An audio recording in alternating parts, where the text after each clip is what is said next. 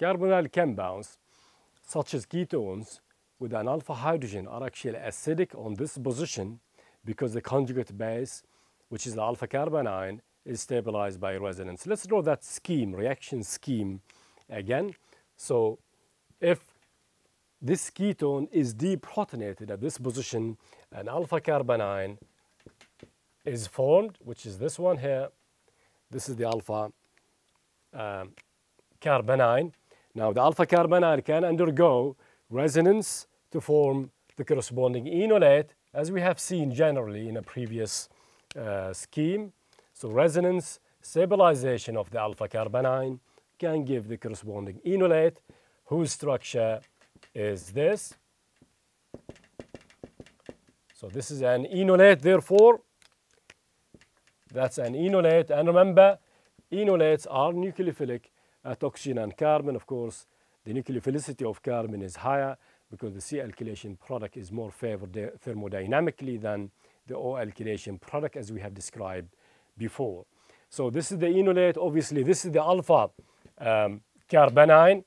And these conjugate bases of the general compound, the general carbonyl compound with an alpha hydrogen is stabilized by resonance. And that's exactly why our uh, carbon, uh, carbonyl compounds with an alpha hydrogen um, are actually acidic. For ketones, as we have uh, specified before, pK in general is about 20. So pKa here is about 20.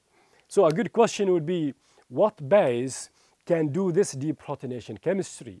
So what base can convert uh, ketones, for example, into the corresponding enolates?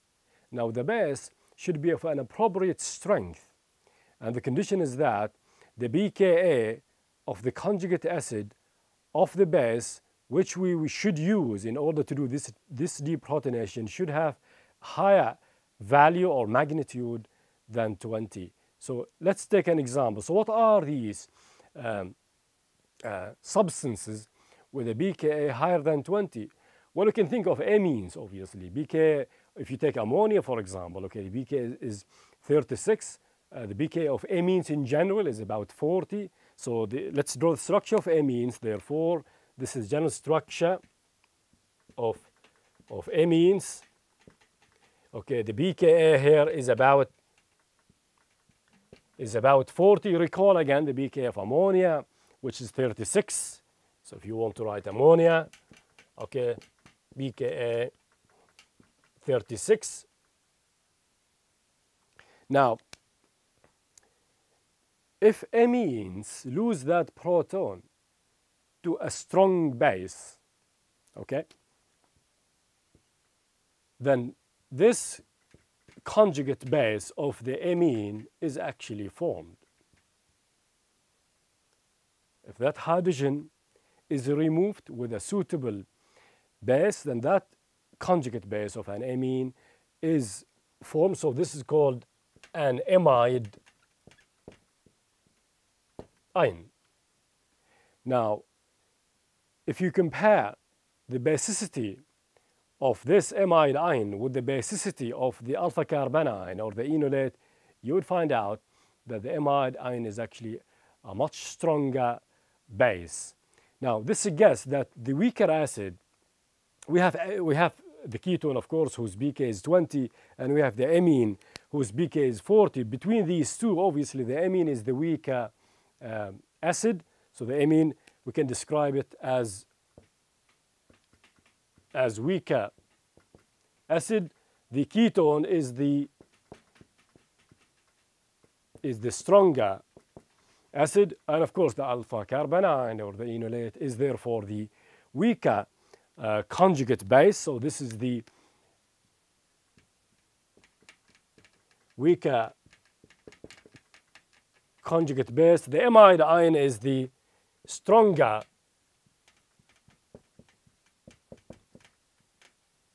conjugate base. So if we react the stronger acid, which is the ketone, with the stronger conjugate base, which is the amide ion, this acid-base reaction can take place.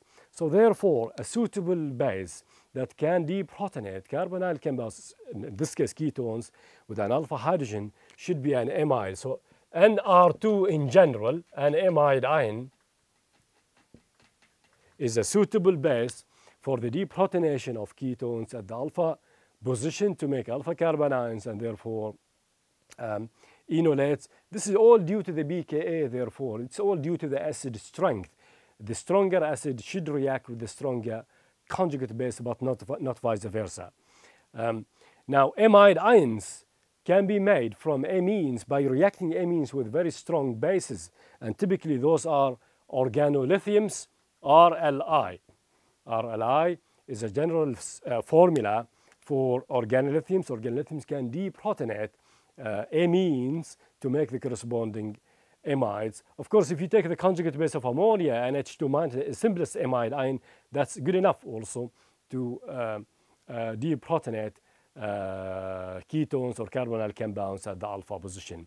So the suitable base, therefore, should come from an acid whose pKa higher than 20. So this is the base that's required. This is the acid. The pKa here it should always be, if that acid is desired to deprotonate carbonyl compound, the pKa here should always be higher than, than 20. So this is the requi requirement, if you like.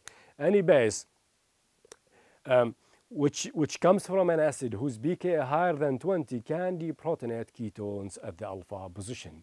So amide ions in general are the suitable bases to deprotonate ketones and other carbonyl compounds of a similar pKa or even higher, slightly higher pKa.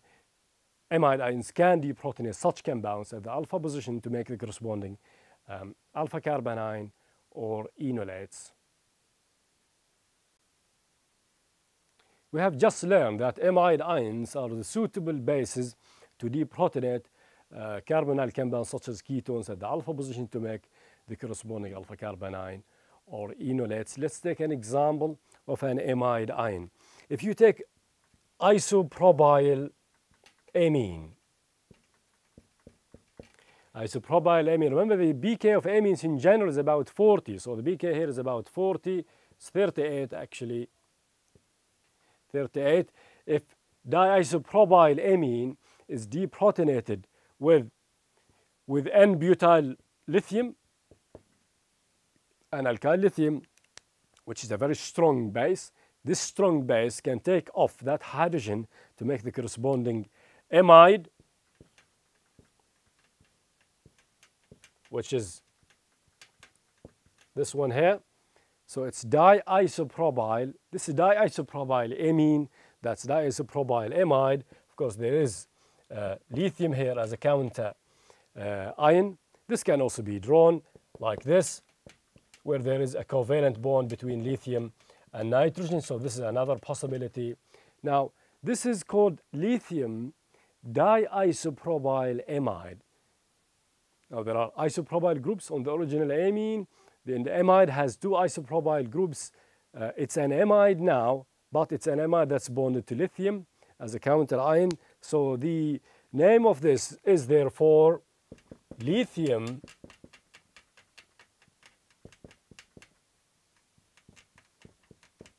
diisopropyl amide, lithium diisopropyl amide. This is abbreviated as LDA. LDA, L comes from lithium, D4 diisopropyl and A4 amide. So the name of this amide base is LDA and the typical base for this for the deprotonation of carbonyl compounds such as ketones for example is LDA. So that's the structure of LDA. It's an amide base of course which is formed if diisopropyl amine is deprotonated with a strong organolithium such as uh, N-butyl lithium. LDA is a very commonly used base to deprotonate ketones at the alpha position to make the corresponding um, enolates.